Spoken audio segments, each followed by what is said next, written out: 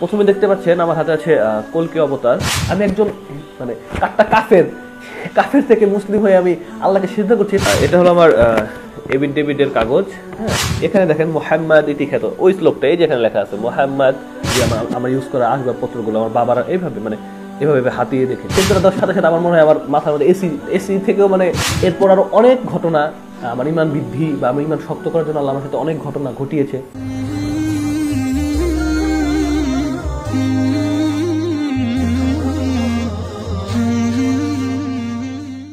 السلام عليكم ورحمة الله وبركاته نحمده ونصلي على رسوله الكريم أما بعد আলহামদুলিল্লাহ অনেক পর আপনাদের কাছে চলে আসলাম। আমি কেন মুসলিম হলাম? তৃতীয় পর্ব তথা শেষ পর্ব নিয়ে। আজকে শুরুতেই আমি আপনাদের সাথে তুলে ধরতে চাচ্ছি। অনেকেই আমাকে নক করেছে অনেক হিন্দু ভাইয়েরা নক করেছে যে আসলে কি আমি ন মুসলিম কিনা। নাকি আগে মুসলিম ছিলাম এখন ভাইরাল হওয়ার জন্য ন মুসলিম সেজেছি। এরকম অনেকেই কমেন্ট করেছে।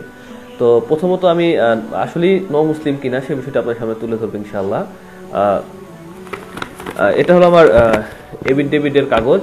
হ্যাঁ এটা দ্বারা প্রমাণিত যে আমি আগে হিন্দু ছিলাম এখন আমি মুসলিম আর আলহামদুলিল্লাহ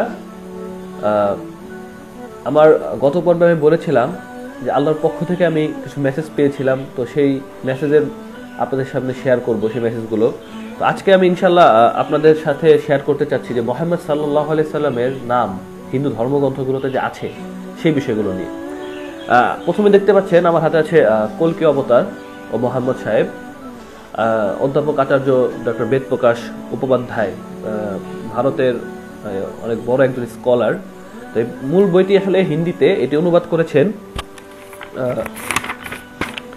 অধ্যাপক ডক্টর অসিত কুমার, অনুবাদক এখানে। এটা একজন হিন্দুই অনুবাদ করেছেন। তো এই বইটির উনআশি পৃষ্ঠায় বেদ প্রকাশ উপাধ্যায় একটি শ্লোক ভবিষ্য পুরাণ নামের একটি শ্লোক তুলে ধরেছেন। এখানে